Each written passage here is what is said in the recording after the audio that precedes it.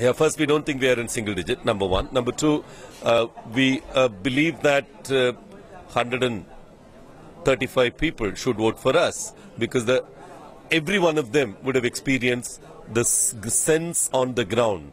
And they know that within three months we'll need to go out to seek the votes for uh, local body elections.